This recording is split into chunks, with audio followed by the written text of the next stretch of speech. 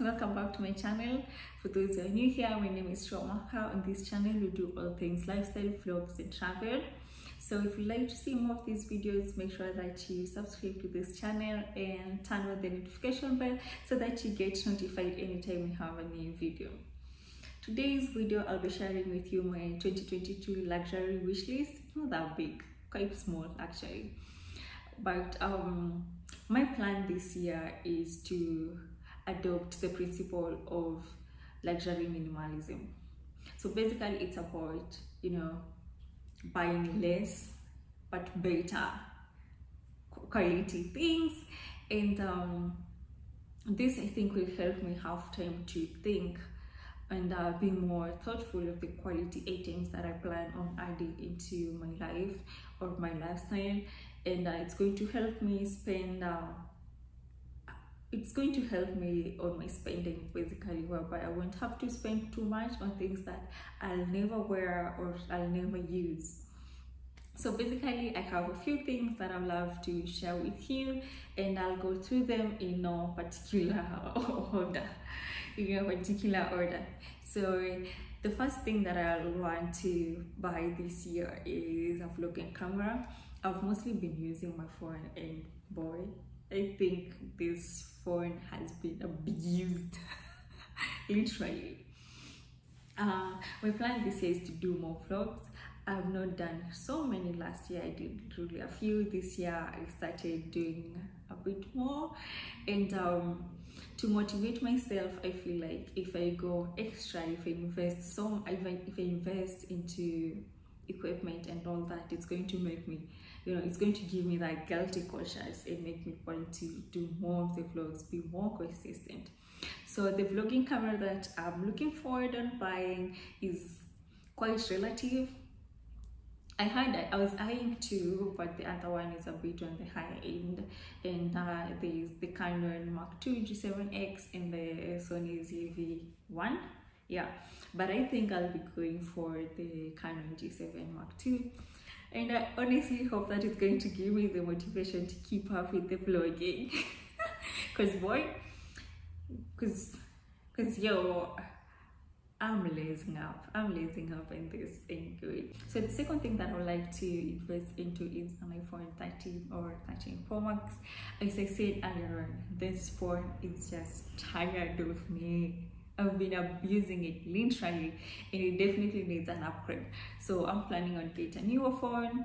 So probably the 13 or 13 Pro Max, God willing, if 14 will be out by then maybe we'll see if it's within the budgeted range so the other thing that i will be investing into this year is the dior sling back pumps black ones to be specific i think that shoes speaks elegance and class basically it's going to be a staple in my wardrobe because i think if well put together it's going to make an outfit look amazing. It's going to make an outfit look you know bougie or classic or you know timeless.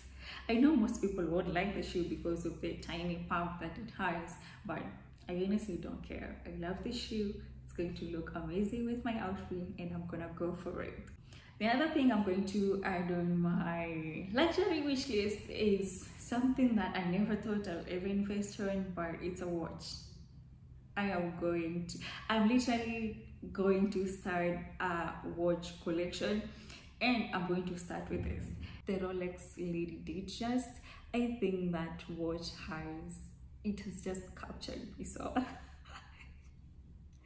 I've seen it. The moment I saw it I realized I started seeing it in everything like in YouTube videos people's you know status I started seeing it everywhere. So it's like this moment where you think of buying a particular car because you have interest in it. Everywhere you go, everywhere you look, that's the only thing you see. It's like it's following you up and you're like, is the universe speaking to me? But basically it's because you have interest into that particular thing. Now you see it everywhere. Now you're wondering, why did I ever not think about getting this piece or this car or this clothes whatever it is so for me it is this watch and i definitely have need or I have to get this watch this year. The other thing that I've added up in my wish list this year is a luxury perfume. Girl, I need to get myself a real bottle of luxury perfume. And I'm thinking of the Baccarat Rouge or the YSL, is it Libra? However it's pronounced, that one. I've been like, from the moment I got the sample of it and tried it and realized how good it was, the YSL Libra one, I started seeing it everywhere everyone is doing a story and this is the scent of my day and that's the perfume. Everyone is doing a video this is the scent of the day and that's the perfume. And i'm like girl i should definitely get myself one and stop using the samples because i loved it. And i think it's a good thing if you invest your your money on the things you love the things you like because you won't regret it. And excuse me. And for me i think this year it's going to be more on um, perfumes and the watch I think I need to start a collection on this. This I've been using the binds for too long. I think they go they have to go. They don't really give they don't really give the vibe for me. They don't give the vibe for me. Like, nah, I need to change this. They don't really go well with some outfits. I need to upgrade these things. So this year it's all about that and loves that's all we have for today. Please leave a comment of what you have on your wish list. I would really love to hear from you.